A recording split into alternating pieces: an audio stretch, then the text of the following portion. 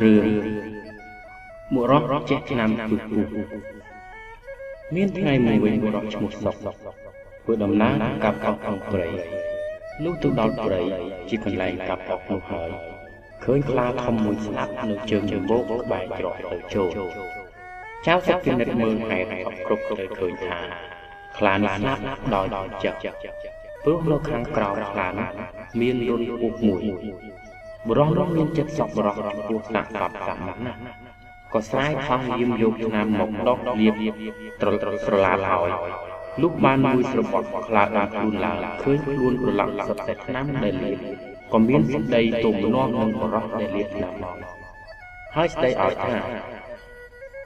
ហេតុដូចម្ដេចបានជាអ្នកឯងហ៊ានយកអ្វីមកប្រឡាក់ខ្លួនអញយ៉ាងនេះបរោះនោះឆ្លើយថាយើងដើរមក បានឃើញបងឯងស្លាប់ដោយពុកចិត្តហើយយើងដុសថ្នាំស្រឡាបលាបឲ្យបងឯងទៅតើខ្លាថាអញមានស្លាប់អីពោះចឹកចាញ់ច្រើនណាស់អញកំពុងដេកលក់ស្រួលទីតើបើដូច្នេះអញត្រូវប្រហារជីវិតឯងធ្វើជាអាហារចៅសុកមានសេចក្តីតក់ស្លុតនិងសេចក្តីស្លាប់ខ្លាំងក៏អង្វរថា បងខ្លាអើយអាណិតយើងផងកុំអាលវិធៀបយើងក្នុងគ្រានេះចាំយើងទៅរកអ្នកប្រាជ្ញណាឲ្យគេជំនុំជម្រះឲ្យបើរកទៅឃើញថាយើងខុសសំបងប្រហារជីវិតយើងបើយើងត្រូវត្រូវទុកជីវិតយើងខ្លាក៏ព្រមតាមពេកវងរបស់ចៅសុកចៅសុកវិលមកវិញប្រទេសសេះនិងក្របីនៅក្បែរផ្លូវក៏និយាយថាបងទាំងពីរអាណិតគឺរោគអាយុយើងផង ព្រោះខ្លាដែលពុះចឹកចាំយូរឡើងដែលយើងដាក់ឆ្នាំឲ្យតែវាប្រាថ្នាប្រហារជីវិតយើងថាយើងធ្វើឲ្យភ្ញាក់ហើយធ្វើឲ្យប្រឡាក់ខ្លួនវាអស់សត្វទាំងពីរដឹងសេចក្តីសោកគ្រប់ក៏ពិចារណាទៅឃើញថាតាមពិតត្រូវតែ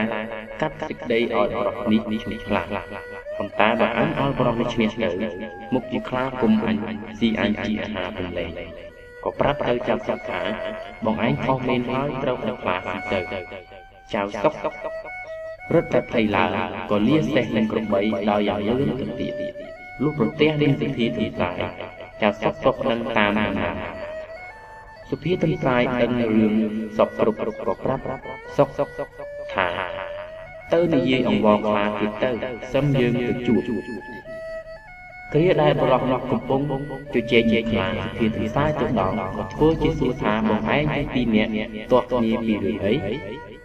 ខ្លាចៅសុកក៏បានប្តឹងតាមដំណើររឿងរឿងខ្លួន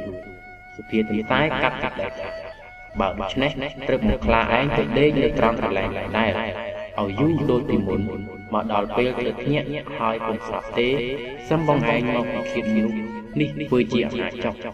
ខ្លាទៅដេកតាមមុខគាត់ពោះក៏ចេញពីរនមកចិត្តខ្លានេះស្លាប់ទៅសុភាទីតែឃើញខ្លាស្លាប់ហើយប្រាប់ទៅបរោះរកថា បងឯងកុំលៀនឆ្នាំឲ្យវាទៀតប្រាប់ហើយក៏លៀនចាំចុកទៅលើនៅវិញធ្វើគុណបានតប